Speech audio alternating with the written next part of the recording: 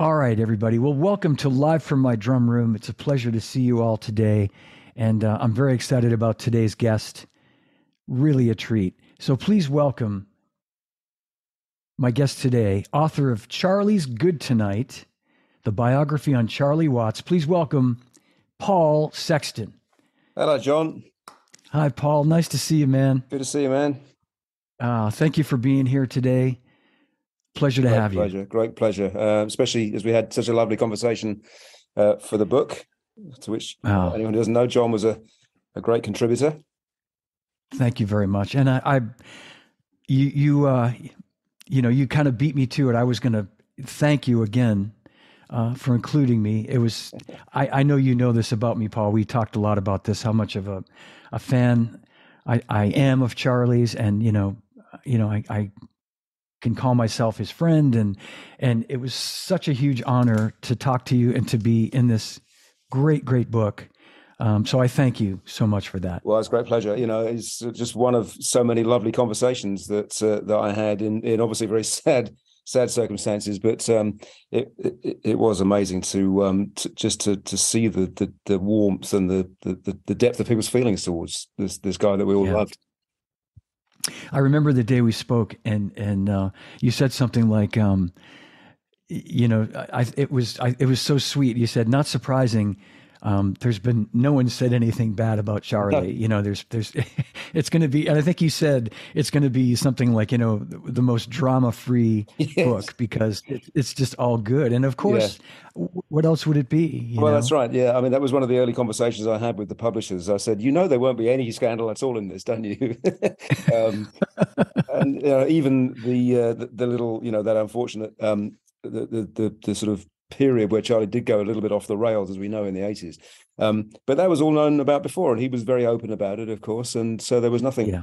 nothing new or surprising there. But um, no, what I it it turned out to be just um, you know I think a nice opportunity for people to to, to pay their respects to him. I, I hope not in a bland way, but um, you know there's there's just so many warm stories, yours and and so many others, and and from the his bandmates as well, of course, which is just lovely, you know. Yeah, yeah. I and I I wanted to mention that too. That you know, for anyone who hasn't read this book yet, you I, you know, I don't know what you're waiting for. It's a fabulous book, and I can say that completely unbiased. I mean, it's if I hadn't met you, Paul, I'd have rushed out and and bought this book regardless. Well, that's great uh, to hear. because it's yeah, it's so great, and it's so um, you know, it's I think I can use the term bittersweet because it's it's it's uplifting and it you know there's so many places in the book where i'm i'm like laughing out loud at things that people say or that charlie said um and at the same time you know the reality that he's that he's not with us but yeah, that's right. I mean, um, that, that is the only sad thing is that you know, you, you know what happens. You know, that's the thing with it. With it, we, Yeah. uh, we know the ending. But um, a friend of mine was sweet enough to say that uh, you know he he enjoyed it, enjoyed it like a novel. You know, as, as if. Um, you know, as in a book that he didn't didn't want to end. You know, as he as he Yeah. sensed it getting towards the inevitable conclusion. You know, That's exactly how I felt. You know, every time as I got closer and closer to the end, it was one of those things where I'm like, ah, I don't, you know, I Mm. really don't want this to end, you know. Yeah. Um, and and I, I love, you know, I think what's great about this book is the history that you had with Charlie, Mhm. um, personally. That that you were able, you had all this access into the band. Yeah. And again, I'll say to anyone who hasn't read this book, it's as it's as great for Rolling Stones fans as it is for Charlie fans because there's so much of the rest of the band in here yeah, that they generously gave you their their time and and and uh, contribute you know contributed to it yeah. but you, you could you could tell i could tell that you and and charlie had a great rapport you know and, and the way that he opened up to you and the things that Yeah, you have in there I, I I- I think so, yeah, and it's one of those. I mean, I'm sure you found the same. Um, you know, it it took a while um, to reach that that that stage, um, and I think that's inevitable. Doing what I do for a living, you know, um, bands, especially you know, mega successful bands, are just inevitably wary of people like us. You know. Um, because a band like the Stones has just been, you know, frankly, um, to put it bluntly, they've kind of been screwed by everyone, really, at one, you know, Yeah. in media terms, at some stage or another. So you have to kind of spend an awful lot of time pro- proving yourself. Um, to, to them. And um, yeah, I mean, I guess I, I managed to to to do that to some extent. You know, quite a long time ago. Um, I first met Charlie in 1991. So, uh, and I think we probably we we I, I, kind of lost count, but you know, when I was kind of um, documenting everything in preparation for the book, I, I counted a good dozen um, interviews with with him.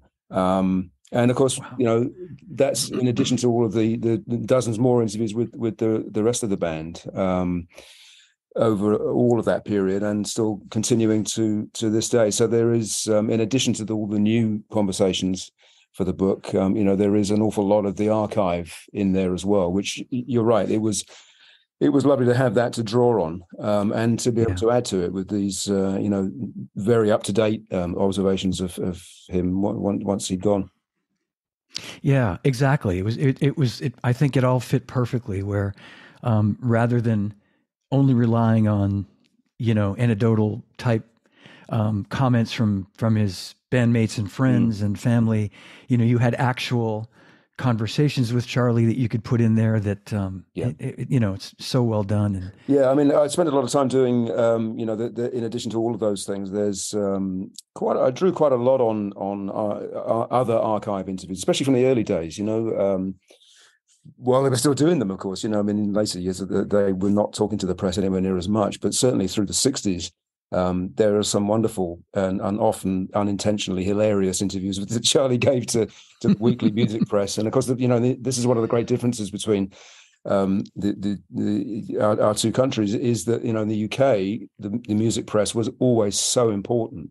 Um, mm. And it's, it's my starting point as well. You know, that's how I kind of came through as a, as a writer was, um, was writing for one of those week, uh, weekly music papers. And, um, you know, journalists in those days I'm, I'm, i think whenever you start in this game you're envious of the people who were there before you uh, and i have a lot of people now younger people now who are like oh man i can't believe you you got to do what you did and the people you met but then i look back on some of those interviews that people or the access that people had in the 60s especially um, and sure. you know there's yeah. only a few key writers really and they they really did get to know these you know their their subjects extremely well and go to their houses and so on i've done that too but it's um, you know it is one of those things that you have to really sort of um, as I say, prove yourself that you're um, kind of a little a little different from some other journalists, maybe. yeah, you know, with with me and Charlie, it's interesting. I, uh, I I guess I sort of did prove myself, but it was probably a little easier because at the time I was working for Zildjian and mm. I came bearing gifts. You know, I I came bearing cymbals, and my first foray into into sort of the introduction was uh, sending him some really rare old vintage cymbals from the 1940s that we had found. Yeah. And through Chuch Magee, um, you know, Chuch, rest his soul, he, he, you know, much like Don McAulay, I think Don is the perfect guy. Mm. I, you know, I love Don, and he's yeah. he reminds me of Chuch and his mannerisms and the way he handles things. And but I went to Chuch and I and I introduced myself and I said I have these cymbals, and he said, well, you know, write a letter and and send it to me. They were recording at Ocean Way. This was mm. 1997, and um, he said, "I'll I'll I'll bring the letter to Charlie, and then we'll see where it goes." And so I I wrote the letter. I sent it Federal Express, mm-hmm. and uh, I then I left for a trip for like a two week trip. Uh, business trip, and then a couple of days into the trip, I called to get my voicemail, and there was Charlie on my voicemail, saying, "You know, this. I, I, still have the the message. I good, managed to good. save it yeah, and it's you know my name's Charlie Watts. I got a letter from you via Chuch Magee.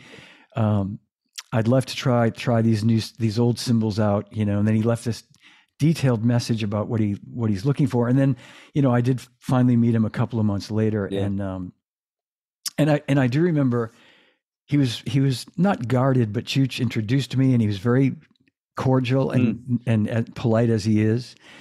And then he came back later to check on me. It was at a sound check at uh, at, at, Giant Stadium, and um, and he came back and you know you all right? And I said, yeah, I'm great, thank you. You know, it's mm. great, great to be here. And then we talked a little bit more, and they were coming to Boston, and I said, you know, there's a jazz show happening the night before your first Boston show mm. uh, with this great tenor player Joshua Redman, and his drummer's a friend of mine, and and in, long story short is Charlie and Chuch came to the gig Yeah. the night before at this jazz club, and that really kind of I think I passed whatever test there Yeah. might have been at that point. Yes, that's right. I think Yeah.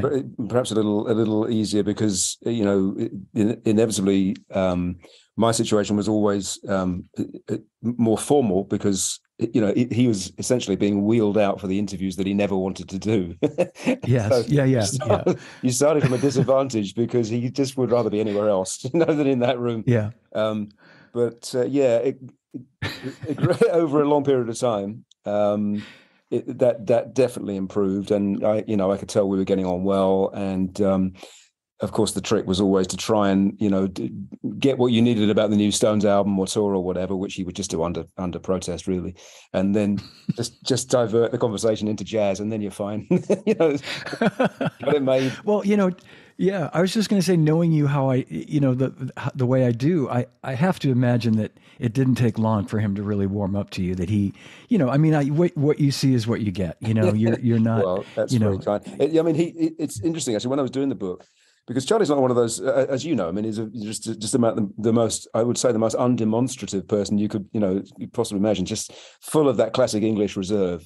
Um, yeah, and um, so we certainly never had a conversation along those lines. You know, I think it's just one of those things where you kind of figure with all of them. Actually, you think, well, I'm getting asked back again. You know, one once So Yeah. clearly uh, I, you kind of take the compliment from from that. Um, but it wasn't until I was actually writing the book and after he'd gone that I found out actually from Don, uh, you know, who, who was again like yourself was was a terrific help, you know, and and and so um, uh, generous with his time and and information. Um, and he Yeah. he he did say that um, apparently I was I was one of the one of the all right ones, you know. Um, and he yeah, I have to think so. yeah. well, yeah, I mean, he. I, I think that's the thing. He, with with few exceptions, I think by the time he got into the you know that run of making um, records in his own name, you know, the the the, the big sequence of of of jazz uh, releases, um, interviews on that on that subject were were fine. Um, but it's one of the things that I think people have found rather surprising about Charlie, who didn't know him um, through the book, is is really quite how much he um, di- didn't didn't buy into anything to do with the world of rock and roll you know and uh, in Mhm. addition to which he would never really listen to a stones track unless he absolutely had to or to approve a mix or something like that you know or, a, right. or maybe one of the reissues um, he would always say to me that you know the only time he actually enjoyed that side of it was when they were actually in the studio creating the thing you know he loved that but Yeah. he would never this happened so many times with interviews because I I would normally be seeing them when you know the new album's about to be released, or often I'd go to you know go and visit them in in rehearsals in in, in Toronto a few times and and elsewhere. Um, and uh, you, of course, you've got to you've got to start by talking about the new stuff, you know, and then maybe you're going to work it back into into a bit more history or other other subjects. Um, but you'd sort of say to him, you know, that that lead track on Bridge to Babylon is really great, isn't it? He said, I don't know. Don't know because he hadn't listened to it. you go, "Is- Yeah. is it?"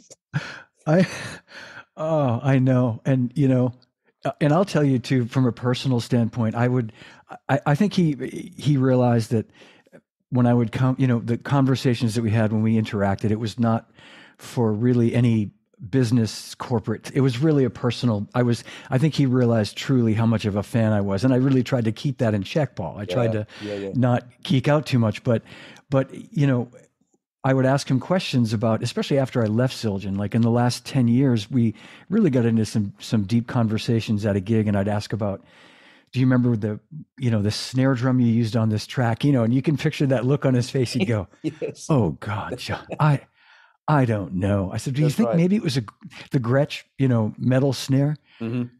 Might have been, you know." exactly. Yeah, that's right. Yeah, Yeah. If you'd been talking about, you know, the, the the snare on one of his favorite records by one of his jazz heroes, you, you would have got it straight away, of course. You know. Right. Yeah. Yeah. Of the course. I know. But he, um, I know, I know he was, and you know, people might think that that was sort of put on, you know, that, that it's just the way, you know, some people might put, oh, I, I don't remember that. It was so, you know, Mm. but he really didn't because I think he, I don't know, he was just so, uh, I, I don't know, I want to say it so it doesn't sound unflattering, Mm. but I think he felt that what he did was not really that important no. or or or uh, significant. I think. Yeah, that's right. I mean, so humble. You know, there's that phrase that you hear a lot these days, which is imposter syndrome, and I, I don't I don't think it was quite that. You know, he um, he would often denigrate himself. You know, he, in terms of his in terms of his drumming abilities. You know, yeah. he he would always talk himself down. It was almost impossible to pay him a compliment. I found, you know, because he would just swat it away. You know, um, yeah. But at the same time, I don't think I, I, never interpreted that as a lack of of confidence. I think he, you know, he he, had that. He he knew who he was for sure. Mm-hmm. Um, mm-hmm he just didn't choose to go on about it the way that most people in this game do. Yeah. You know, and that's what made him stand out so much. Yeah. Absolutely. I, I think you're right. I think it's it's just pure humility. Mm. You know, it wasn't like you said, it wasn't a confidence thing. It was just him being very sincerely yeah. humble about what he did. Yeah, that's right. I mean, the number of times, you know, I I've never had a conversation with Keith in which he has not just almost sounded in awe of Charlie, you know, and just repeatedly yeah. told me how lucky he has been to to be in a band with with this guy.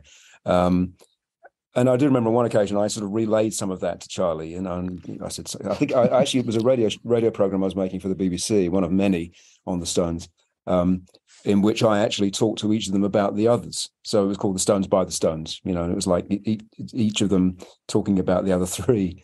Um, and so, for the purposes of that, I said to Charlie, um, Keith thinks you're wonderful. And he went, Really? When did you last talk to him? so, you know, forget it. You, you, just couldn't, you had no chance. Yeah.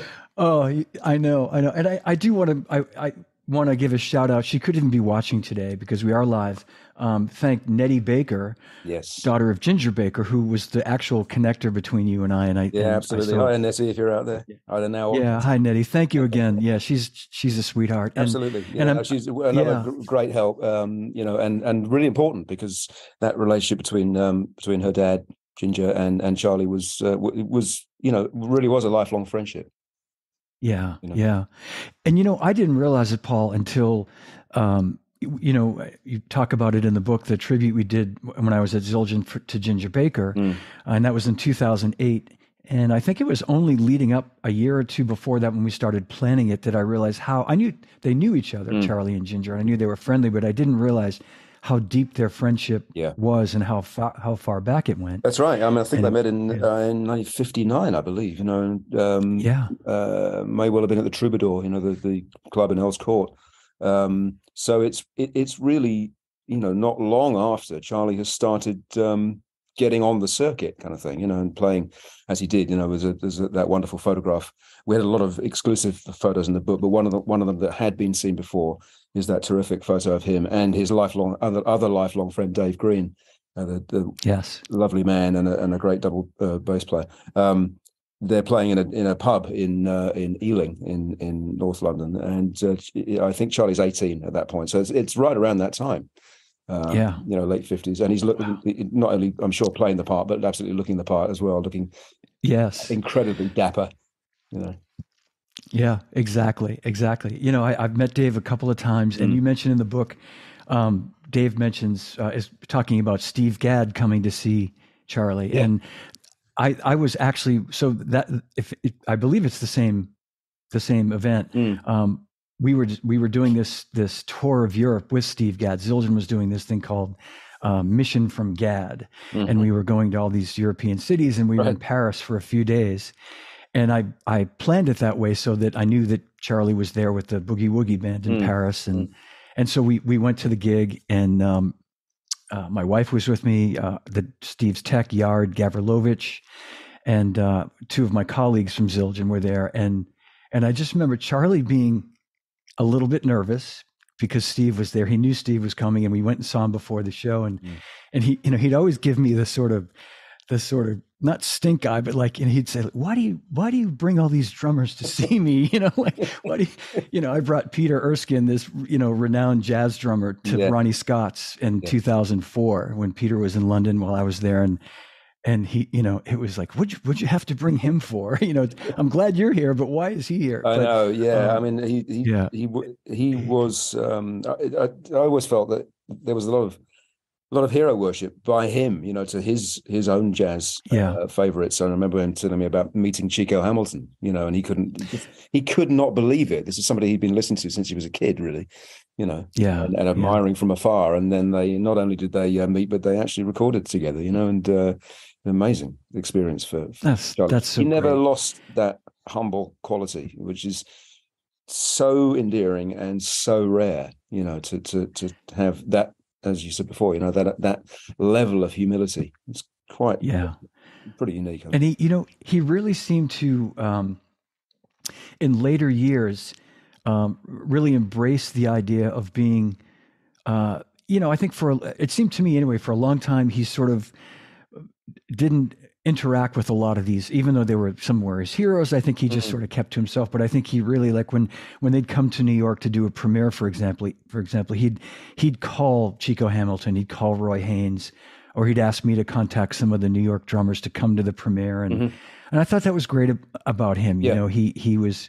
Um, inviting them to shows and red That's carpet right. treatment and all that stuff. Yes, exactly. And I think you're right. He did get more sort of uh, confident uh, about that as as he went on, and he became, um, I suppose, you know, as as often happens as he got older, he you know he developed that really sort of avuncular quality, didn't he?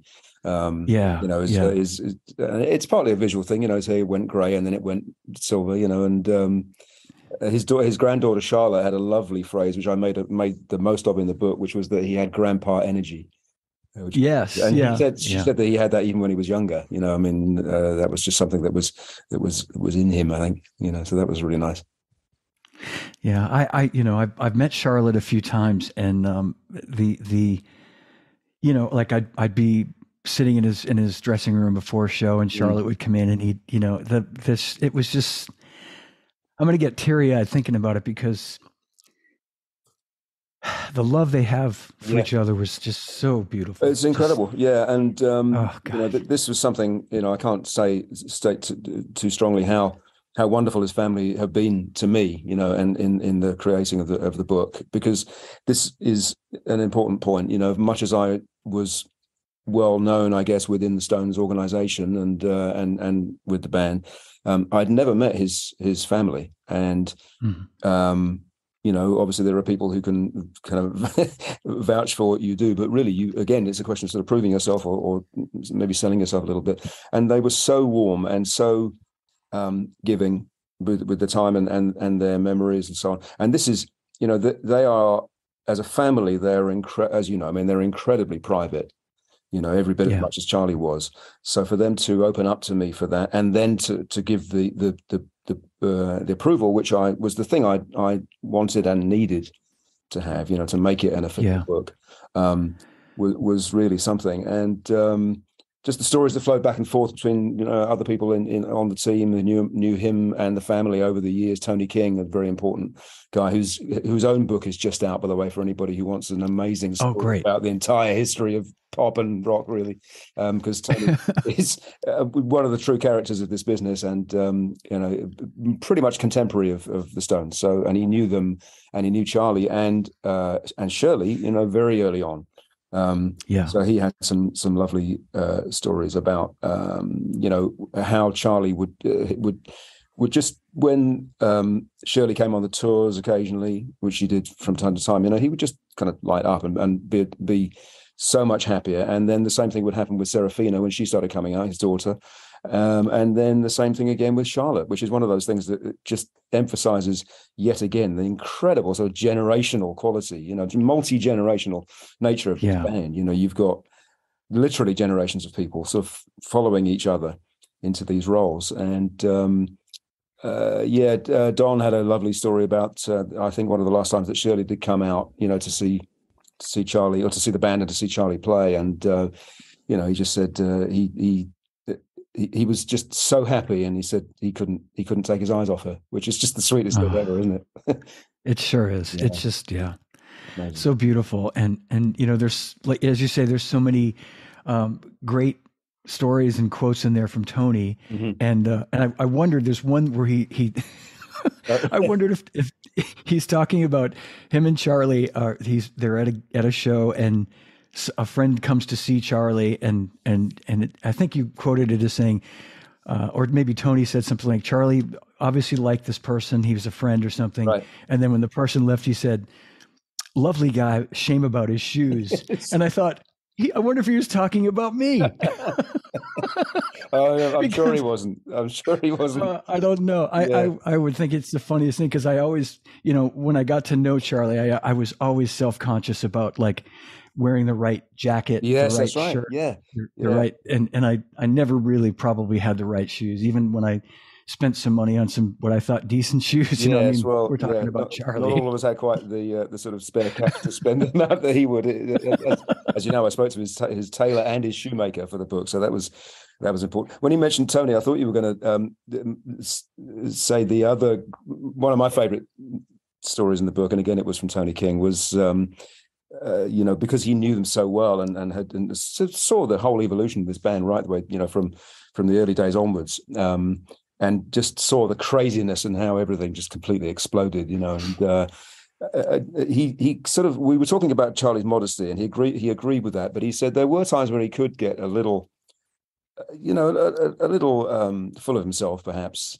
And uh, he he told the story about uh, um, him coming home. This was probably around the late sixties, I think. you know, Shirley, Charlie's wife, told yeah. Tony um, I think probably in a letter, in the way that people used to write letters in those days. Um, yeah. She said, Charlie came home the other day, all full of himself about me being a member of the Rolling Stones. So I made him clean the oven. Just, made it my favorite story, I think. I can I can picture it too. I know. I know. Oh my God. Yeah, that's yeah, too, that's right. Yeah, uh, I know. Yeah. he was, as we know, he was a he was a very domesticated guy.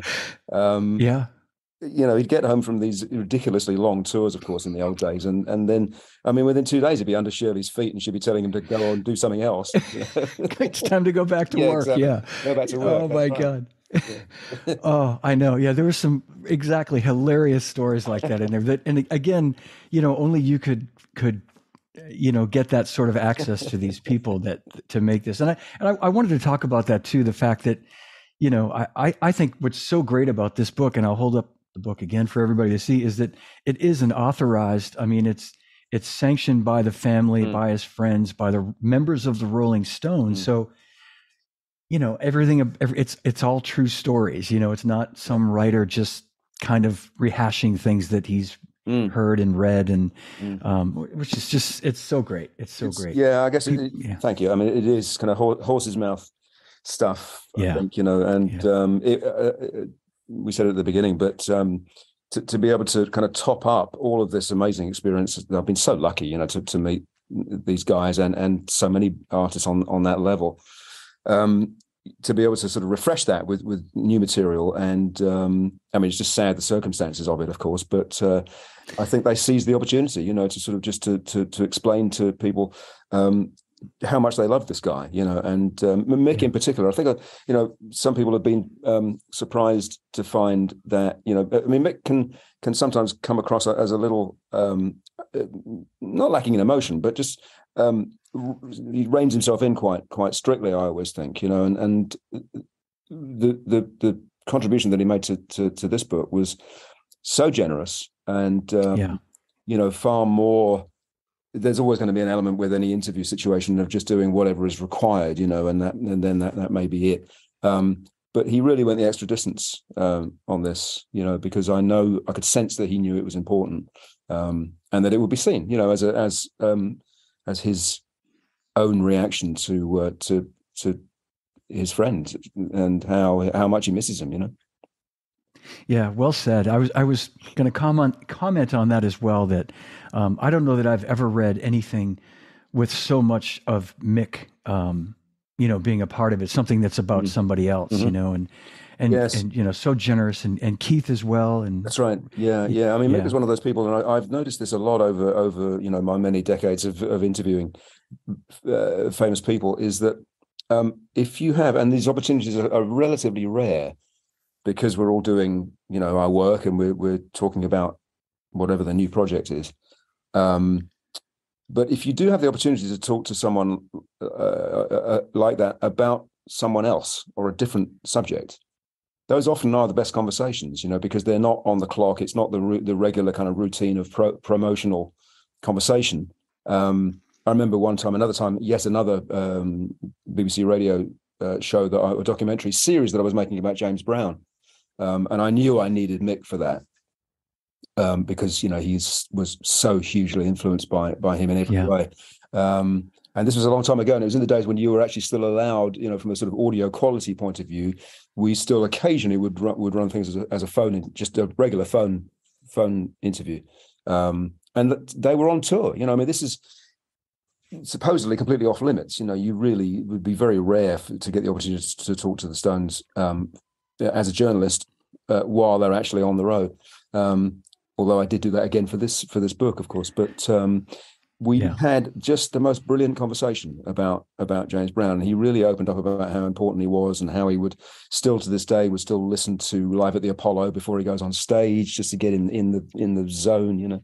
Um, wow and yeah. that uh, that's how many times. I mean, Elton's another one of those. You know, you get talking about about old soul records with him, and you know, Garnet Mimms or whoever, Don Covay or someone. You know, and he's off. You know, he's he's a yeah, just yeah. And then you remember that these guys are just like anybody else, really, guys and girls. You know, they're just like anybody else, and they started out as massive music fans, and it's still there.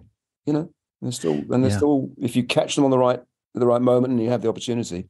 Um, you could just have some wonderful conversations. Yeah, and and the subject matter really resonates with them as well. And, mm-hmm. and, as you say, in this case, with with it being Charlie, you know, Mick, I'm sure was more than forthcoming with um and and and that's a good point that you make too that because it's it's you started the book i mean the band was gearing up to tour for mm. everybody who doesn't remember um, steve jordan had been brought in to to be a temporary yeah. uh, substitute until Charlie was well enough to join the tour, mm. and and then we lost Charlie. And then how how soon um, did you kind of start writing the book? Well, you know, I'll, I'll, tell you the just the sort of potted history of it, John, is is that um, the initial discussions about the project were were while Charlie was still with us, and and uh, briefly what happened, and um, again I feel so lucky because I I was approached, and it wasn't a question of me going to to a publisher with with the idea. Um, uh, the guy who became my publisher at HarperCollins um, saw a, a, a, article that I'd written about the Stones for the Sunday Times, one of many again, um, and I think it was probably around the time of the uh, the, the Goat's Head Soup reissue. You know, they've done those those many deluxe sort of repackages of, of some of the classic albums. Yes. Um, so I interviewed the whole band for uh, for that. Uh, not Charlie on, on that occasion. Um, he he managed to get a, a, a day pass, you know, away for that one.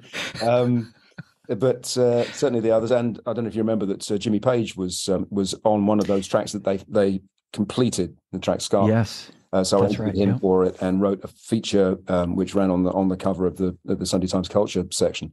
And um, Joel, the, the, the publisher, saw it and made contact with me and uh, said, "We know we would very much like to do a project with Charlie." And I said, "Well, so would I." Um, but only if it's approved. You know, having having worked closely with him for this amount of time, I wasn't going to do anything that was not didn't have um, some kind of seal of approval. Um, but yeah, the initial idea would have been for him he and I to work together on on his autobiography. Um, and we did, just, you know, we we developed that idea, idea for a while. Um, and I don't think this is just with hindsight because I remember thinking even at the time that this this idea didn't it, it wasn't really sitting right with me because the fact is he would never mm. have done one. You know, um, yeah. To, with, with all of the modesty that we that we've been talking about, it's just something that would would would never have um, appealed to him.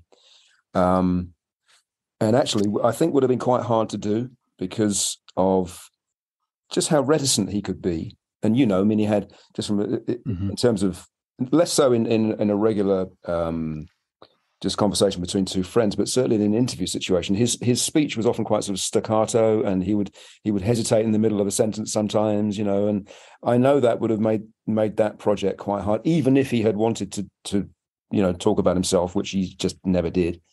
Um, yeah. So uh, you know that idea idea sat there for for a while, and I guess eventually, you know, he um, he he was I, I, forget the exact chronology of it, but he was getting poorly, and um, by then the idea had sort of morphed into um, the the possibility of a an approved biography. Um, I see. And that's what I what I uh, uh, pursued, you know. And um, the actual, as always happens in the world of the, of the Stones, it's, you know, it's, it's the classic sort of hurry up and wait situation, mm-hmm. and an awful lot of talking about it, and then suddenly a deadline, you know, and a great, a great yeah. sort of, uh, panic to, uh, to, get it done. But in a way, I mean, you know, I'm no, I'm no good without a deadline anyway, like a lot of journalists, and um, it sort of just focused the whole thing nicely in a way. And uh, I kind of got the band at the, at the, pretty much the last possible moment that, that we not not the last possible moment, but they were already on the tour, you know, on the 60 tour. Um, yeah and I had been thinking, well, this is going to get this is going to be tough now, you know. But they they made it happen, and um, obviously, the, you know, all of the other pieces were in place by then. Um, yeah. And Mick and Keith were, were were incredibly gracious to allow me to use parts of those conversations for the forwards, um, which you know made the publisher very happy, of course. and, sure. Uh, no, I yeah, yeah, yeah. I mean, it's it's it's all everything aligned you know, mm. as I think as perfectly as it possibly could have, really. Right? I think so, I mean, yeah. And there is, I mean, just from yeah. a very selfish point of view, you, all the time you're working on it, you're thinking, I really hope nobody else gets is doing this as well or gets to it first. But then I knew that they would not have that level of approval. You know, there the right. there've been one or two other, frankly, not very good books about about Charlie over the years. You know, but um, it is amazing that I don't think anyone had ever actually even um, attempted the idea of, of, of this kind of a book. I suppose because that is a reflection of just how how private he was and how you know access to him would be relatively uh, rare. You know, so again, it's just, yeah. I, I, just feel so privileged to have been in that position. Well, you know, I, I, an example of what you're talking about. We talked about the tribute to Ginger Baker mm. that we did in 2008. Yeah, that's right. You're in the book talking about that. Yeah. Yeah, yeah, and and uh, you know, I had talked to Charlie about doing it, and uh, you know, initially he was open to discussing it, uh, didn't give any sort of commitment to doing to mm-hmm. being honored as we honor Ginger, um, and we were talking to Ringo, and the idea was, you know, Charlie, Ringo, Ginger, uh, and and Mitch Mitchell even possibly, but mm. those three, and Ringo and Charlie were doing like a little number on me where one would say. Um, if Charlie does it, maybe Ringo would say, if, if Charlie's going to do it, maybe I'll do it. Right. And, and Charlie would say, what's Ringo? If Ringo's thinking of doing it. And, and ultimately, I think both of them were, to your point, mm. not really comfortable, you know. And at first I, I, I didn't quite understand it, but then I got it. I mean, I realized these are, are, you know, um, English gentlemen that mm. have, have never really wanted to have a fuss made about them. That's right um, yeah, and and Charlie, I I know much better, knew much better than mm. Ringo, and I knew that was a, a, as you say a real thing. It was a sincere trait yes. about Charlie was he he was not comfortable with all that sort of attention, and no. but he was. But I will say he he was. I had asked him, um, would you come and come to the event if you're in town and present the award to Ginger, and mm. and he said I'll do that, and mm. and and and that was wonderful because it meant so much to Ginger. Of course, you know, and it, it was a way for him to. Yes, that's right. Yeah, and didn't you tell me that he had a whole thing ready to say, and then he kind of forgot it all and just said. He he did. Word, yeah, he came up. yeah, and it was you know he came up on stage, and of course the crowd went bananas when yeah. he walked on stage, yeah. and he looked incredible in this you know black suit with a white shirt, and I was wearing a sort of similar. Uh, black jacket, black mm. pants. I think I might have had a darker shirt. And I said, I said something like when he got there, I said, Charlie, you you look fantastic. And he said, Can't go wrong with a black suit and a white shirt. I mean, it was like so, you know. Yeah. He said, you know, you, you it it's never, you know, it never fails. But it's, yeah, that's but right. I will yeah, I will say this, and I without making a I might have told you this story, Paul, when we were when we spoke the first time, but um, you know ginger was was having a bit of a tough time that night you know mm. he was he was having a lot of back pain and and uh, you know he was he was glad he was being honored he was excited to be there but it was a a, a different that moment just before the, the event began was a little bit difficult so i i got him to the venue and charlie was due to arrive at 7 p.m and mm. and ginger was a little anxious and so we're sitting in his dressing room and then i had word that charlie was there so i met him at right at seven on the button brought him to ginger's dressing room and ginger was immediately at ease mm. and the two chatted for an hour in, in the dressing room and laughed and told stories and yeah and then when yeah and then when charlie at one point said I should go say hi to Jack Bruce and some of the other guys right. that, that are here. You know, I, I, should go and I'll be back later or something. And Ginger turned to me and said, "Thanks, John." He said, "Charlie's a great guy." you know, it was beautiful. It was That's beautiful because I was, yeah, it was, it was. Yeah, I mean, it's, it's a fascinating relationship because because as Nettie um, points out in, in the book, you know, you couldn't have two more different people. I mean, you know, she she's very aware of her father's reputation, you know, and as uh, not always the sweetest uh, disposition out there. And and Charlie, yeah. you know, was the sweetest guy ever. So you know, it's amazing that they they they could have traveled along those two sort of parallel lines for all those decades, you know. And um, yeah, uh, but a funny relationship, you know. And Charlie one time said, um, you know, that uh, he, I guess he went to see I think he went to said he went to see Ginger on his on his ranch or something and said, "I'll give you tickets for, to come and see the, the gig, but I know you wouldn't come." yes, he's quite right. I know, I know. And Ginger probably said to him, "You know, you're right, Charlie. I won't." Exactly. You know, yeah, yeah, yeah, Yes, that's right. He wouldn't. I know. Would no politeness about it, you know, or pretending. Yeah. Right. Oh, you know, maybe I will. It was like, no, you're right. Uh, I'm, I'm, not coming. you know, I I will say I I knew Ginger. Um, I'd say 30 years. And uh, 1989, right? You know, right up until he passed yeah. away in 2019, and um, he was always sweet to me. And even under circumstances where I know he was, you know, the during that event there were some moments, and other times, you know, where we'd see each other, and it was, you know, he might be pissed off at. I saw him at a club one time, and he was pissed off at the sound guy, the monitor guy, but but you know, then he'd go, you know, thanks, you know, hi, John, yeah. you know, like he, but he would, he would find a way. I, you know, I, I could never, I could never say that Ginger, uh, I ever had any bad no. moments with well, him. Well, I think, you know, you know, that that's your compliment, you know, it's in the same way that for me, it, it's, uh, you know, it may be a relatively small thing, but, um, uh, it, it, just proves you, you are doing something right. And I think he he Ginger's one of those people that clearly didn't suffer fools, and you know, yeah. again, did not like the interview situation, I'm sure. And boy, did he get asked some stupid questions, you know. So you can kind of understand, if you're a little fiery of, te- of, temperament, you can sort of understand why he would lose it sometimes. yeah.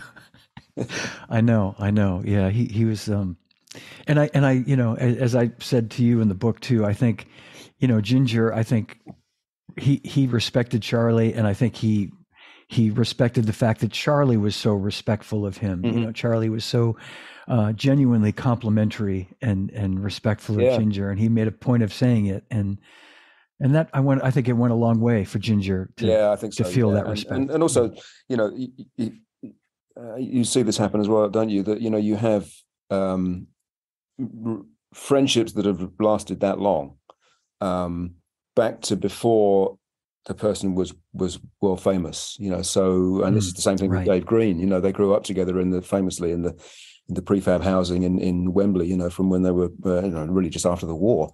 Um, so it's not a question of, which does often happen, doesn't it, of um, people just surrounding themselves with uh, with yes men and women or, or sycophants. You know, this is, uh, I think it, I think it appealed to Charlie the idea that he had these two, and I'm sure there were others, but those two particular close friends who'd been with him, you know, the whole way.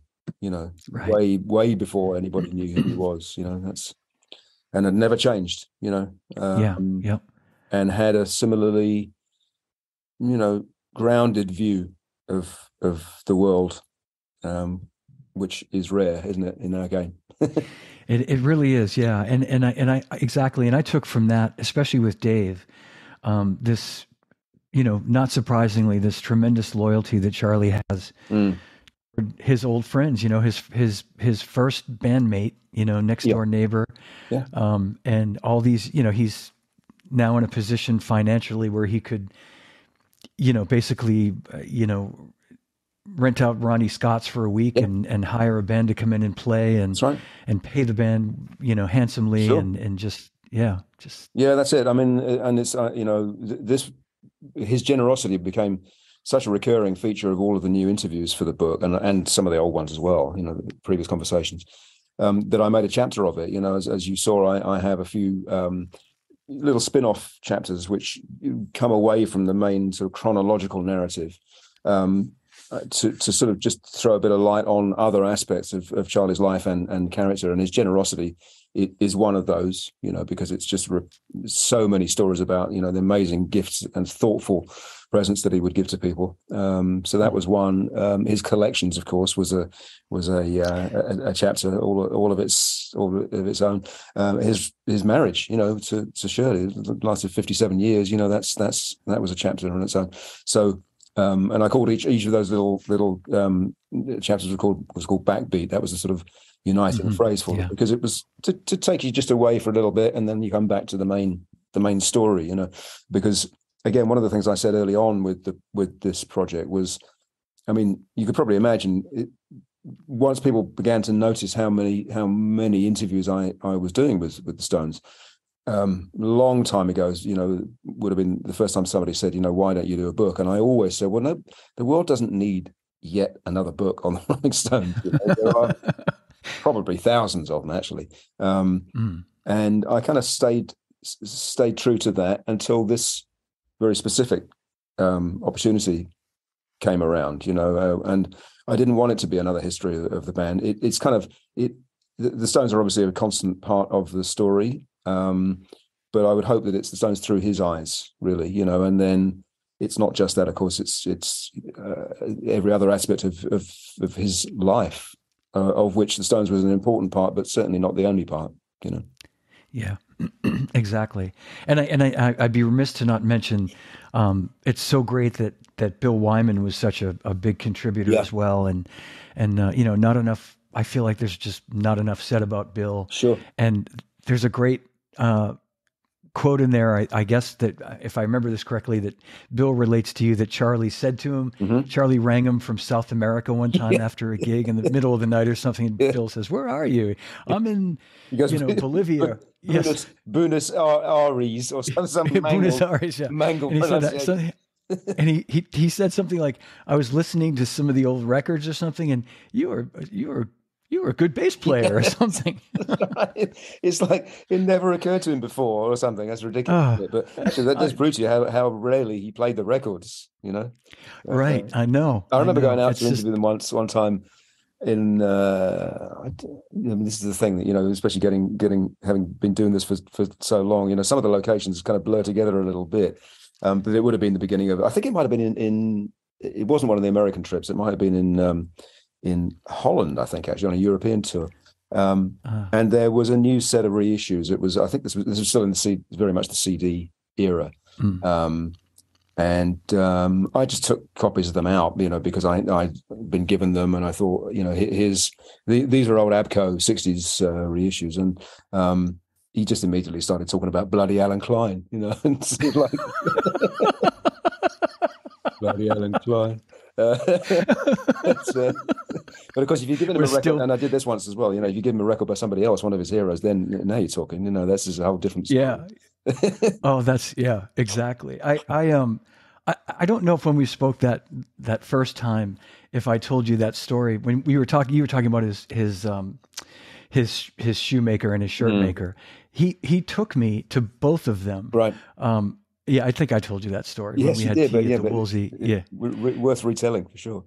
Well, it was, it, and it's, I, you know, it was, it was right up. It was about this time. It was March of 2008, and I know this because I was in London for this event that we did every year, just before the big Frankfurt Musikmesse mm-hmm. trade show they have, um, and that was that's typically in March, and uh, so I had a couple of days off between the event that I, that we had done and before I left for Frankfurt, and we had lunch at uh, what I I can't remember the name of the place. I'm sure you know it in in Chelsea, mm-hmm. not far from his flat. We right. because we went there afterward. Yeah. But we had lunch with um, Sherry Daly mm-hmm. from the office, mm-hmm. um, and and then after that, Charlie said, "I have some errands to run. Do you know, what do you have to do now?" And I said, "I'm I'm free. I'm not doing mm-hmm. anything." So we walked up along um, along Hyde Park, yep. up to Piccadilly, and and we went into the shoemaker and the yeah. shirt maker. And I've told this story on these on these shows before, but um, it was a surreal moment for me,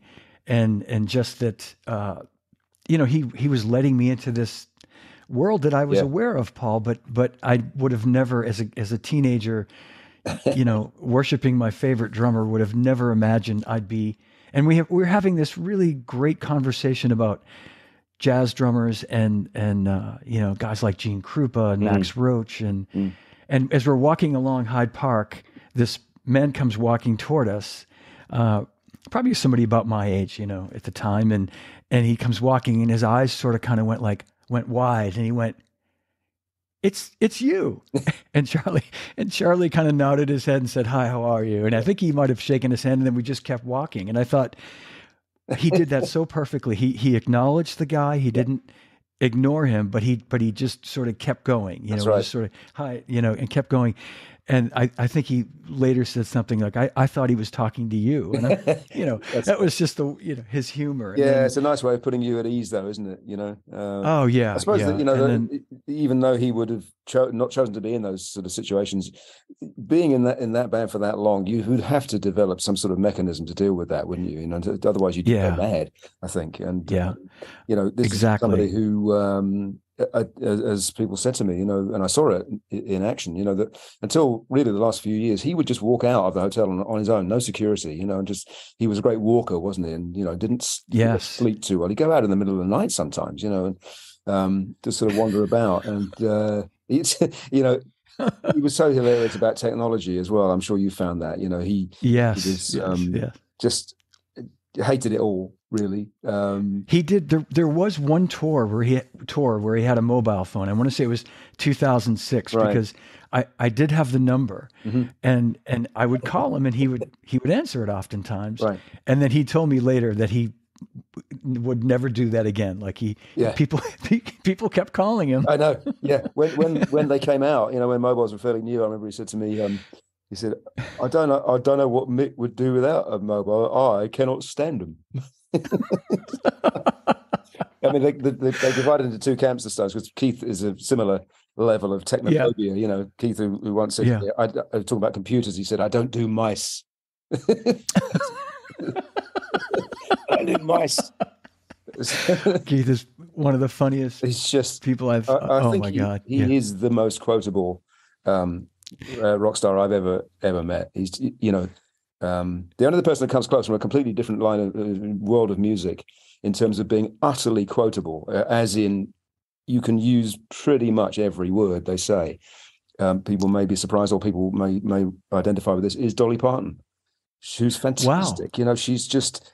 I made it. I remember again making a radio show um, with her one time, um, where uh, you get your allotted time, and it's, this is frustrating with Dolly because you can be you can be doing you can you know you're having a great chat, but sh- there is always the guy who comes in and does the you know the sort of um, yeah. time's up or it will be in one minute, whatever, you know, and kind of stands there hovering over you, you know, for you to wind it up. Um, but I did the interview, came home, and uh, and the the the uh, commissioning editor at the at the BBC said to me, "How did it go?" I said, "Great, fantastic." And he, he we had slated it for a one hour program, and when I told him how great it was, he said, "Great, let's do, let's do two hours." And you're thinking that's going to be really hard because I just haven't got enough stuff. But the beauty is, you know, half an hour with Dolly or Keith is like an hour with anybody else because there is no wastage. there's nothing. There's no you know no fat there uh, whatsoever. Um, so uh, you, I, I literally kind of used every word. I think you know. So Yeah, Yeah. yeah. I I had a couple of great quotes from Keith just in the few times that I met him, and Mm. I remember at a at a rehearsal. This would have been you know twenty years ago, and Mm. and uh, Charlie introduced me. I'd met him once before, and he reintroduced me. Said, Remember John from Zildjian? Mm-hmm. And and and and Keith said, Zildjian, heavy duty Turkish works. and I, and I wrote it down. It was just you know heavy. Oh yeah, heavy duty Turkish it- works. And then amazing. the the um this would have been 10 years ago when they were at the um just ahead of the 50 and counting tour when I'd I'd just left my post at Zildjian I went down to, to the show and I was with Charlie and Max Weinberg and uh and Keith came over and and they were chatting and again Charlie introduced me and I said this was December of of 2012 and I said um, happy early birthday. I said we actually share the same birthday, December Right. 18th and he and his eyes kind of he went he said you and me and Bobby Keys. Bobby And he Keys, said, that's right. yeah. And he said, Sagittarius, half man, half horse, licensed to shit on the street. Again, and I'd, I'd read that or heard that in other places where he had said that, but Yeah. I, I got it. You know, he, It's he just wonderful, isn't it? He's incapable Yeah, of saying anything boring. That uh, you know, it's a love of language. Actually, it's, it, it's people yeah. don't make enough of this with with him. You know, because there's still there. Uh, some of this has been dispelled now, thank goodness. But there are still people who think, you know, just have kind of bought the the the legend or the the caricature or whatever, you know, and don't realize what an incredibly intelligent and well read oh. man Keith is. You know, um, Charlie as well. Absolutely. Actually, they all are. Um, yeah, and how uh, you know he just even if he's telling you something relatively mundane, he'll say it in an incredibly entertaining way. You know. Yeah. Um, well, uh, the, you know the the end of that the story of of me spending that day with him on Piccadilly and mm.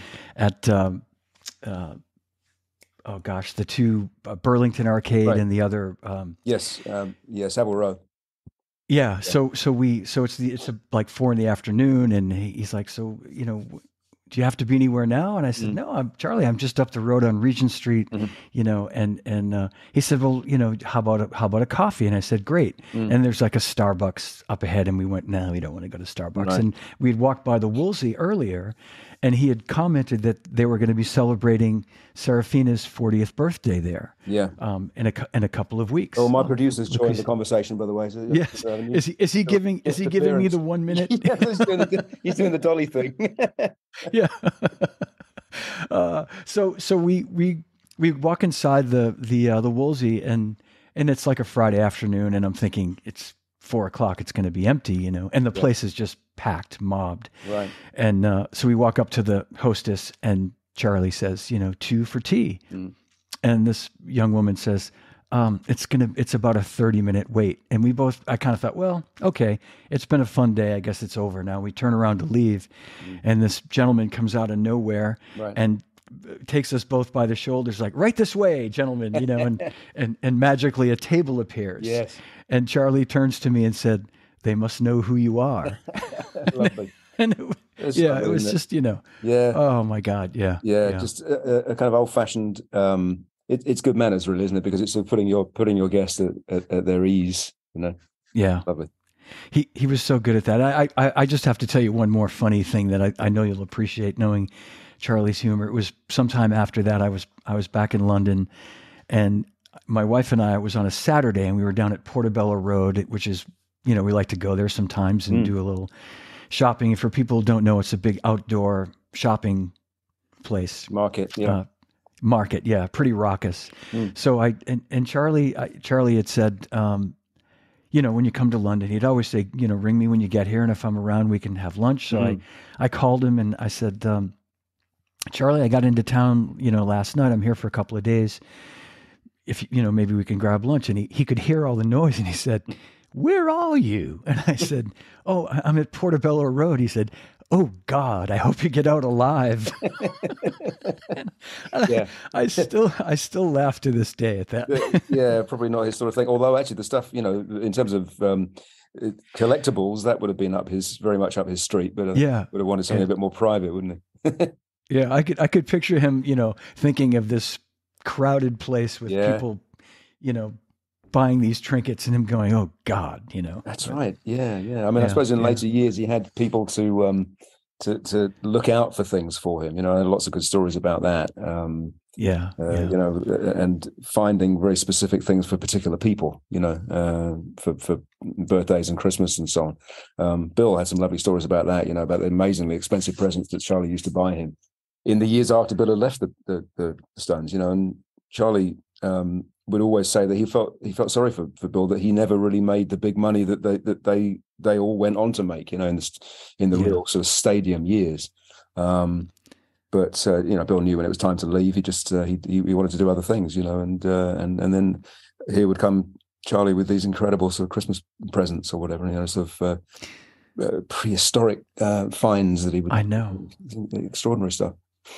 That was beautiful. When I read that, I, you know, and it, it was so great for me being a lifelong Stones fan, mm. life, lifelong Charlie fan, to, to discover things in this book that I, I think I'll, I'll bet a lot of people don't know. And, and no, I mean, people have been very kind about, about yeah. that, and, and that has been a recurring um, comment. You know that uh, people who thought they knew uh, a lot about the Stones, um, that it's surprising how a lot of these things have never really been reported about. Uh, Charlie, they're just little quirks of his character, aren't they? You know, they're they're they're yeah. not controversial in any way, but they are often very endearing, I think, and give you, I hope, give you a, a, you know more of a a rounded picture of him as a as a human being rather than just a, a sort of drum drum drumming figurehead, you know, which obviously he was as well.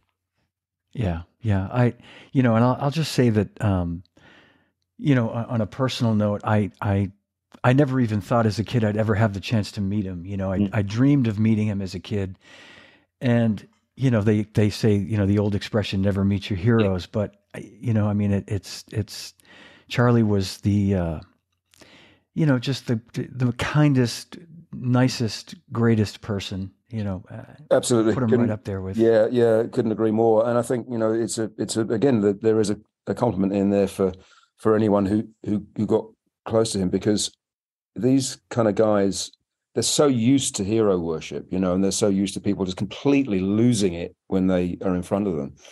Um, if you, a lot of it is to do with just just keep calm, uh, carry on, you know, and just yes, yes, be be sensible and treat them as normal, you know, normal people, normal in inverted commas, and um, that's what appeals to to someone like Charlie. I think you know is that's what he yeah what what he was really looking for, you know, in his friend.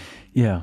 Yeah, I, I exactly, and I'm glad. I've said this before too. I'm I'm glad I met him when I was older and a little more yeah established in my in my uh, professional life than if I'd met him when I was younger. I yeah, he would have been that guy. that, that, yeah, I would have been that guy. That would have been yeah. it for me. But but um, yeah, but I, I also Paul, I want to just um, you know, I just want to say that this uh, I think this book is great for really understanding, and you know, we've talked about this too, but really kind of understanding so much about Charlie that I think for a lot of people they don't, you know, they'll never know about him. Mm. Um, you know his his jazz roots I think have been talked about, but I mean you sure. you get really deep into that as well too, which is great. Yes, I mean um, it, again this is the invaluable thing of uh, being able to talk to his family, you know, who um, is so beautifully down to earth, um, and they you know, Seraphina and and Charlotte, they're both aware that Charlie was a,